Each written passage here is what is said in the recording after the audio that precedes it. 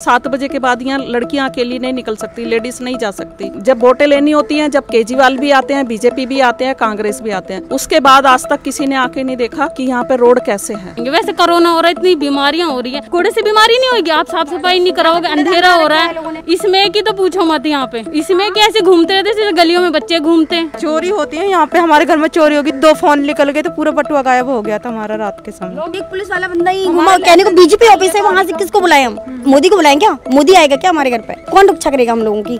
जब से मोदी का दफ्तर बना जब से यहाँ गंदगी हुई। बेचारे इतने इतने पानी में बराती निकलते हैं यहाँ पर इस रूट से। नमस्कार मैं रिया और आप देख रहे हैं झलको दिल्ली। जहाँ पर आप बारिश का मौसम हो या फिर जल भराव की बात की जाती है आप लगातार चाहे पुराने ज़माने की बात करें या आपकी बात करें हमेशा आपको एक तस्वीरें दिखाई जाती है जो जानी जाती है मिंटो ब्रिज के नाम से। तो लगातार आप जहाँ पर मिंटो ब्रिज के बारे में देखते हैं वहाँ पर जल भराव की समस्या देखते हैं लेकिन क्या टीवी में आपको या फिर अखबारों में आपको, उनके आसपास की कॉलोनियों को दिखाया जाता है तो इस पर रहेगा हमारा जवाब नहीं। तो अभी इस वक्त जहाँ पर मैं मौजूद हूँ, आपको इस जगह का नाम बता दें, जो कि है मिंटो ब्रिज रेलवे कॉलोनी। अभी इस कॉलोनी में आप पहुँचे हैं, जो मिंटो ब्रिज के एकदम ही इर्द गिर्द में पड़ती है। तो यहाँ पर जो स्थानीय लोगों से जुड़ी हुई समस्याएँ हैं, वो आप तक यहाँ पर रहने वाले स्थानीय लोगों से ही पूछ कर बताएँगे। क्या नाम मैम आपका? परमजीत कौर। परमजीत जी ये बताइए कितने सालों से रह रही हैं यहाँ हमें यहाँ कम से कम हो गए हैं चालीस साल रहते हुए कॉलोनियों में। सबसे बड़ी समस्या क्या है इस रोड को ही लेकर? इस रोड को लेके आया क्योंकि रेल में मैं एंट्री करने के लिए क्वार्टरों में यहाँ पर कोई भी रास्ता नहीं है। यहाँ पर घुटनों तक पानी हो जाता बरसात में सात बजे के बाद यहाँ लड़कियाँ अकेली नहीं निकल सकती लेडीज़ नहीं जा सकती। यहाँ पर बिल्कुल ना कोई लाइट है ना कोई रोड बना हुआ है और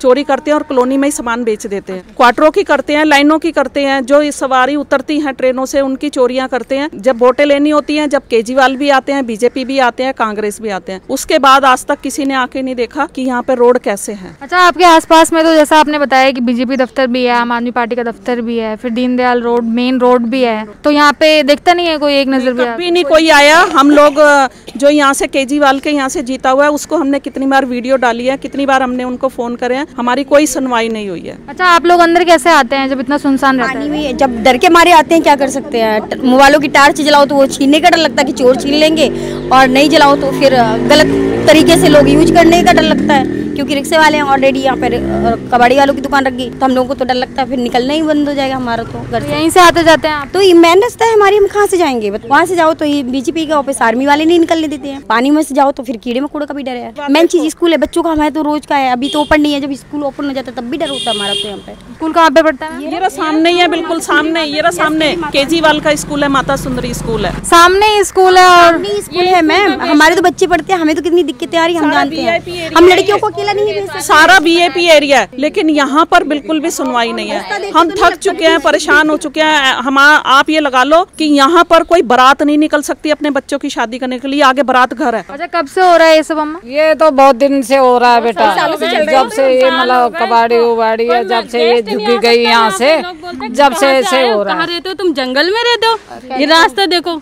ना चलने कोई रिश्तेदार को बुला नहीं सकते हम लोग यहाँ पे क्या हो जिन वैसे तो सीपी है कई बात का सीपी है मिंट रोड में रहते जी किसी को बोल भी नहीं सकता कोई आगे तो देखे यहाँ पे। इतना अंधेरा हो रहा कब आज कौन लड़की जाएगी कौन कोई भी नहीं जा सकता यहाँ पे तो। मतलब बाहरी चमक है अंदरूनी नहीं। ये देखिए कूड़ा खत्ता कितना सारा तो कूड़ा है यहाँ पे। कैसे आएँगे कैसे जाएँगे? वैसे कोरोना हो रहा है इतनी बीमारियाँ हो रही है। कूड़े से बीमारी नहीं होगी आप साफ़ सफ़ाई नहीं कराओगे अंधेरा हो रहा है। इसमें कैसे घूमते रहते जैसे गलियों में बच्चे घूमते हैं। क्या बोले किससे बोले? किसी से नहीं बोल सकते बस वोटिंग देने जाएँगे हम। अच्छा पूरी जितनी भी बड़ी रोड है यहाँ पे एक भी लाइट नहीं लगी नहीं लाइट नहीं एक भी नहीं। न लाइट है न कुछ भी दरवाजे पर इतना पानी लगा रहता है। अंदर रूम में पानी घुस जाता है।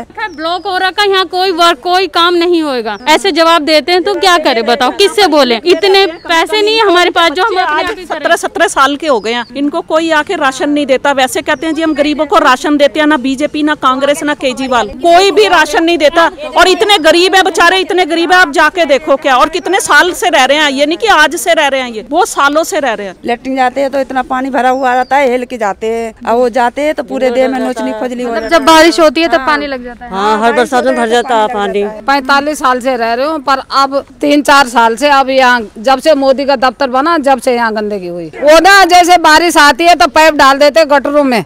और पानी इधर आ जाता हमारे घरों में आ जाता मंदिरों के अंदर चूल्हों के अंदर। हम तो चूल्हा जलाते हैं हमारे पास गैस वैस कुछ नहीं है। अच्छा। तो चूल्हों के अंदर भर जाता है अच्छा वो पानी छोड़ देते हैं इस तरह? हाँ पाइप लगा देते हैं काली मंदिर में ये पुल के नीचे मोदी के आगे सारा पाइप रोडों में देखो तो मैं इतने मोटे मोटे पाइप लगे। ब्रिज का पानी भी इधर ही आ जाता मशीन मशीन चला के हाँ। ऐसे ऐसे इनों के घर के अंदर ऐसे चिकना चिकना पानी नालों गटरों का पानी भी आ जाता है लेटरिन का। अच्छा तो आपने एमएलए को या पार्षद को क्या कहेंगे क्या मैसेज देंगे उन्हें? हम तो यही कहेंगे जी हमारी सुनवाई हो आके खुद देखे ना यहाँ पर कि कैसे रहती है यहाँ की रेलवे की जो पब्लिक है वो अंदर एंट्री एंट्रेस ही नहीं है रेलवे वालों के लिए तो। अच्छा बच्चों के लिए कोई पार्क वगैरह कुछ है? कुछ नहीं है बच्चों के लिए। ये बच्चे बेचारे ऐसे ही घूमते रहते हैं। और सात बजे के बाद तो आप बिल्कुल ही नहीं सोच सकते की हम इस कॉलोनी में अंदर एंट्री कर जाए। आप भी नहीं आ सकते। इतना गुप अंधेरा है। मेरा नाम आँसू है। आँसू यहीं पे रहते हो? हाँ जी। क्या इसी रोड से आते जाते हो? हाँ जी यहाँ पे बहुत कीचड़ और सांप निकलते हैं। रात में कितना अंधेरा रहता है? बहुत ज़्यादा कुछ कोई भी नहीं आते यहाँ पर। चोरी होती है यहाँ पे हमारे घर में चोरी होगी दो फ़ोन निकल गए तो पूरा बटुआ गायब हो गया था हमारा रात के समय। पुलिस में आप लोग कंप्लेन करते हैं? क्या करेंगे? वो? वो तो खुद भी आते हैं इंक्वायरी क्यों मेन एरिया है ये तो बीट ऑफिसर मैम कुछ नहीं करते।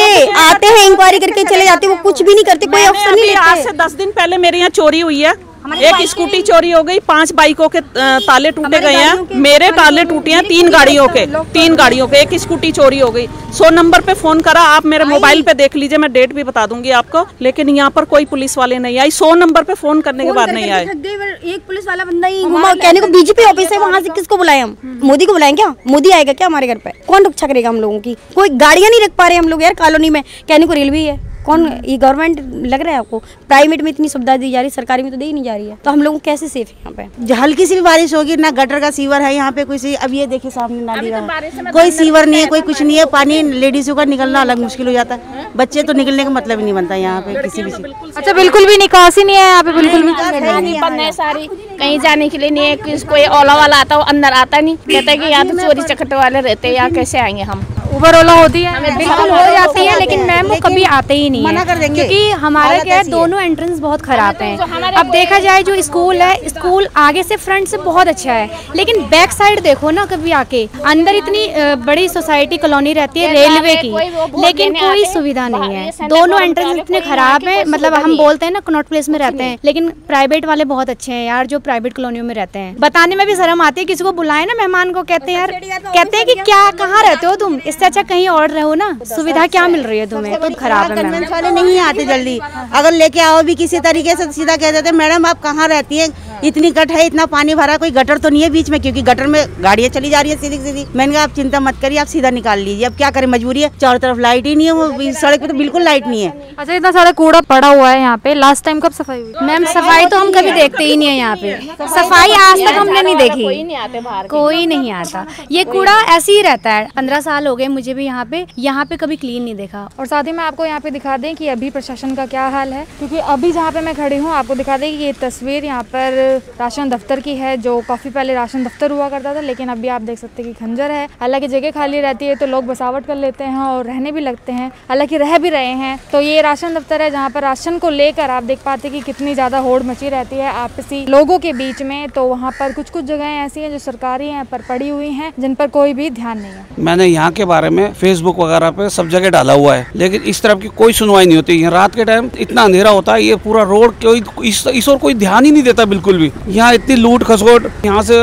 रात में निकलना दूबर है यहाँ से। कोई विधायक और निगम पार्षद कोई ध्यान नहीं देता। मैंने खूब मैंने अपील करके देख लिया लेकिन कोई ध्यान नहीं देता इस रोड पे। और असामाजिक तत्वों का यहाँ डेरा पड़ा हुआ है और बहुत बुरा हाल है यहाँ का। यहाँ इतनी समस्याएँ हैं हम बता नहीं सकते। लेकिन आपके माध्यम से आप जो यहाँ के विधायक हैं, उनको बताना चाहता हूँ कि उनको हम कई बार रिमाइंडर दे चुके हैं लिखित में, लेकिन उनके पास उन्होंने इसका कोई भी अभी तक समाधान नहीं निकाला है। लोग बाग यहाँ जब घुसते हैं ना, घुसने के बाद उन्हें लगता है ये कहाँ रह रहे हैं, क्योंकि अंदर चाहे आप कितना भी खूबसूरत हो, लेकिन जब आपकी एंट्री गलत होगी तो कोई एक्सेप्ट कैसे करेगा?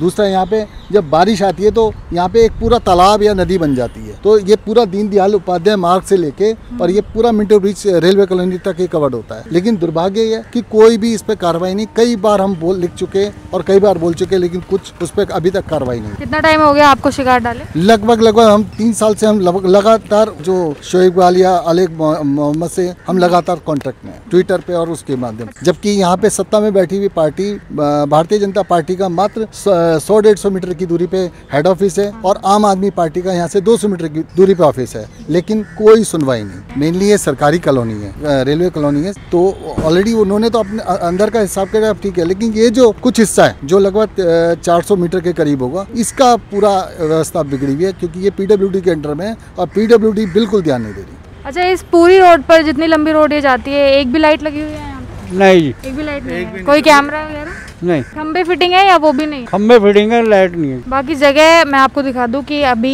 ऐसी देखने को मिल रही है। आप देख ही सकते हैं कि चारों तरफ़ ज़्यादा भीड़ या फिर कुछ ऐसा दिखाई नहीं दे रहा होगा आपको। आप देख सकते हैं कि टीन टप्पल लगा हुआ है साइड में रोड के एकदम ही। और हालाँकि रोड आप देख ही सकते हैं कितना ज़्यादा कच्चा है। कूड़े की बात करें या फिर साथ में यहाँ के सुनसान रास्ते की बात करें वो सारी चीज़ें आप देख सकते हैं। लेकिन मेन यही बात है यहाँ पे कि ये पूरा रोड है और पूरी रोड पर एक भी स्ट्रीट लाइट नहीं है। तो ये देख रहे थे आप मिंटो ब्रिज कॉलोनी से हमारे ग्राउंड ज़ीरो की रिपोर्ट जहाँ पर आपने देखा कि ना सिर्फ़ आवाजाही करने वाले लोगों को परेशानियाँ हैं, बल्कि स्थानीय जो लोग यहाँ पर रहते हैं, लगातार वो इन्हीं रास्तों से होकर गुजरते हैं, लेकिन यहाँ पर कोई भी सुधार देखने को नहीं मिलता। हालाँकि साफ़ सफ़ाई की बात करें या फिर रोड के निर्माण का बात करें, किसी भी तरीके की कोई भी सुविधा यहाँ पर नहीं दी जा रही है, और साथ ही साथ सुरक्षा को लेकर भी बहुत बड़ा मुद्दा उठाया जा रहा है यहाँ पर लोगों के बीच में कि जहाँ पर स्नैचिंग का भी डर रहता है, चोरी का भी डर रहता है, हालाँकि हो भी जाती है। तो ये सारी कंडीशंस इस समय परिस्थितियाँ जो हैं यहाँ पर बनी हुई हैं। हालाँकि सवाल ये है क्योंकि अभी जहाँ तक आपने देखा कि काफ़ी अंदरूनी कॉलोनियाँ जो होती हैं उनको दिखाया जाता है लेकिन ये एक ऐसी कॉलोनी है जो मेन सीपी में आती है सीपी में पड़ती है। तो इस पूरी ग्राउंड ज़ीरो रिपोर्ट को लेकर आपकी क्या राय है वो, वो कमेंट में आप ज़रूर बता सकते हैं। साथ ही मेरे साथ मिलने का आपका बेहद शुक्रिया मैं रिया कैमरा पर्सन राजा के साथ झलको दिल्ली।